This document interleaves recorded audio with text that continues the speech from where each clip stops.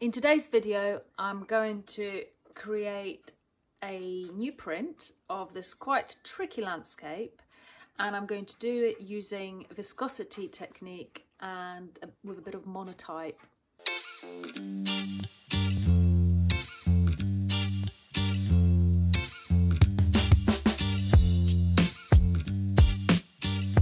So when I first took this photograph and I was walking uh, on a walk on a beach in Norfolk, I absolutely love this photo. And the reason why I do is because it has, it's really moody. It's got these incredible reflections, colors, just love it. And you could probably do it in watercolors quite easily, but I thought it would be an incredible challenge to do it as a print.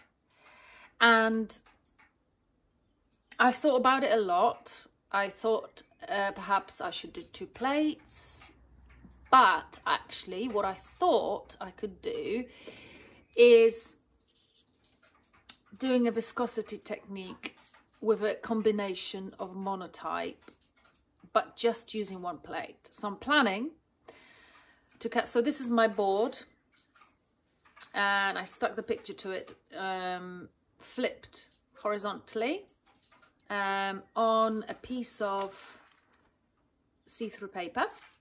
And then I've got just a little bit of newsprint underneath. And I've got a carbonated paper. So I'm going to draw on it just to do all my dark shapes. So I'm going to start with the dark shapes because I'm going to cut them out. And that's when all the darkest areas that will trap my sepia ink will be. And then I'm going to apply with a big roller a varied blue sky and using wiping technique I'm going to try to achieve these clouds and maybe a little bit of here and then with a hard roller I'm going to go over I've got a smaller roller. I'm going to go over just this part here. I'm going to try not to make a wobbly horizon.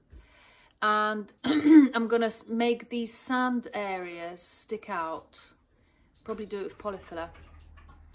So I'm hoping this hard roller is going to catch all of those uh, areas, raised areas that I've done with Polyfilla. So that's the plan. Whether it's going to work or not, we shall see. I hope you enjoy the process.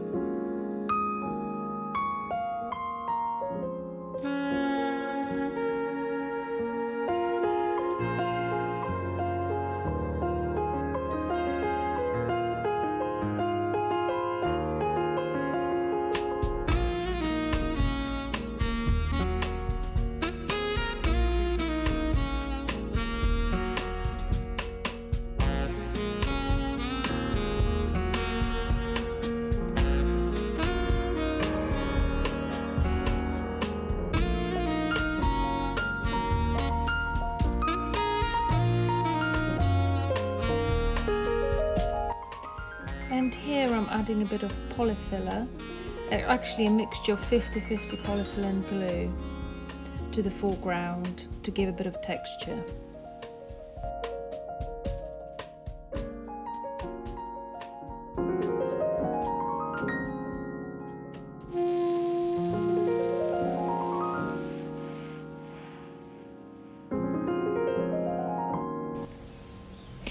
Here I'm adding just wood glue on its own and is just to give a bit more interesting texture within the dark areas.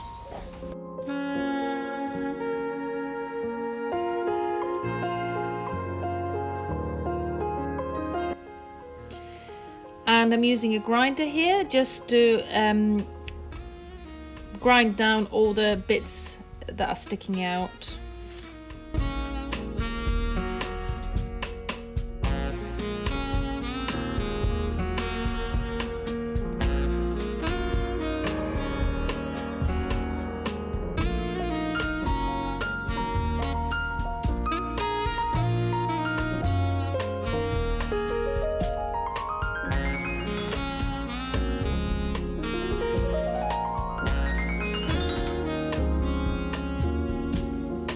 And finally, after shellacking, varnishing my plate and running it for a proof print in uh, my press, I'm here inking up and wiping off just all the dark bits of the print.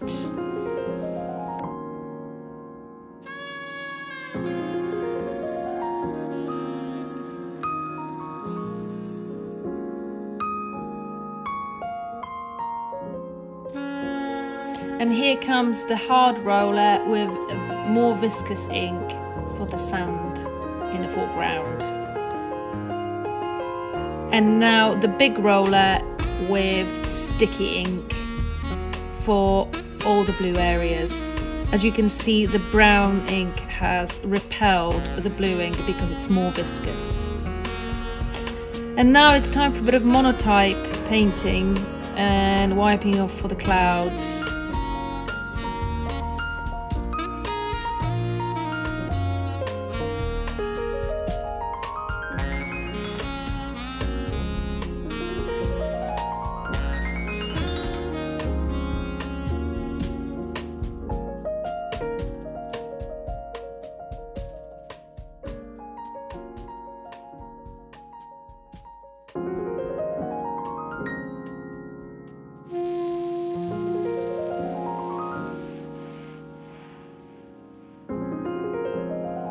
In my final print, I have mellowed the clouds a little bit with a paintbrush uh, as a touch up.